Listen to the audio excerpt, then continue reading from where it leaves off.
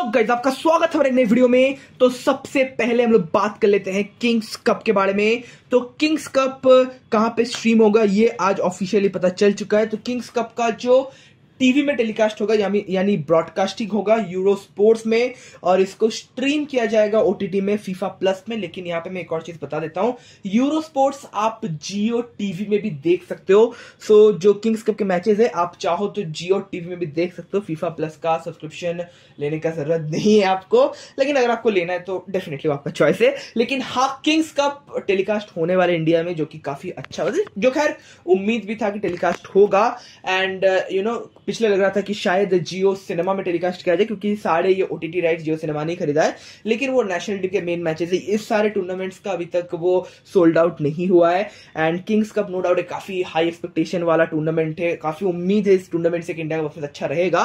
सो so, देखते कि overall इस पूरे टूर्नामेंट में इंडिया का परफॉर्मेंस कैसा रहता है क्योंकि फ़र्स्ट मैच ही इराक के अगेंस्ट में सेवन ऑफ़ सेप्टेम्बर को द बिग बुल आप कंसिडर कर सकते हो इराक को इस पूरे टूर्नामेंट में सबसे बड़ा क्लब इराक सो मतलब सबसे बड़ा नेशनल टीम इराक सो देखना बहुत इंटरेस्टिंग होगा कि इंडिया का परफॉर्मेंस इराक के अगेंस्ट में कैसा रहता है किंग्स कप में।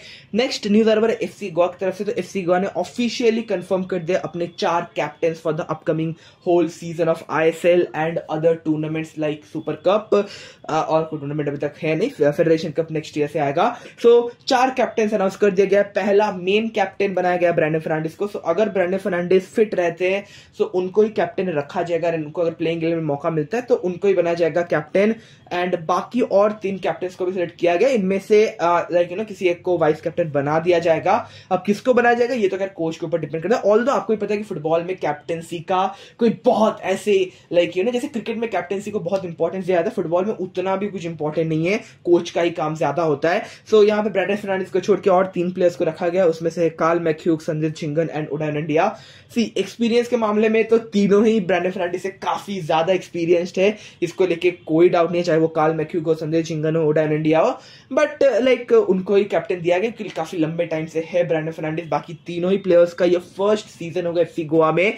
लेकिन हाँ ये ऑफिशियली कंफर्म कर दिया गया है एंड टीम नो डाउट काफ़ी स्ट्रांग है। शायद हम लोग चारों ही प्लेयर्स को एक साथ खेलते हुए भी देख ले, जो कि हम लोगों ने ऑलरेडी डूरेंट कप में चारों ही प्लेयर्स को खेलते हुए देख भी लिया तो चार कैप्टन एक साथ खेलेंगे। एंड मज़ाक से हटके बट हाँ ब्रांडन फर्नांडिस को मेन कैप्टन अभी के लिए रखा गया। एंड अगर वो इंजर्ड होते या फिर उनको बेंच किया जाता तो इन तीनों में से किसी एक को कैप्टन बनाया जाएगा। एंड बाकी जो दो प्लेयर्स होंगे उनको वाइस कैप्टन बनाया जाएगा। मतलब दोनों में से किसी एक को वाइस कैप्टन बनाया जाएगा। ये है पूरा सिस्टम जो गोवा ने अभी के लिए तो कैप्टनसी का सेटअप किया है। सो गाइस ये था इसका वीडियो आई होप आपको ये वीडियो पसंद अगर वीडियो पसंद वीडियो को लाइक करना शेयर कर दो बीच में। एंड अगर आप चैनल में नए हो तो चैनल को सब्सक्राइब करना मत भूलना। एंड बेल कर देना ताकि मैं जब भी कोई वीडियो अपलोड करूँ, आपको तुरंत नोटिफिकेशन मिल जाए। एंड बेल देखने के साथ, तब तक के लिए बाय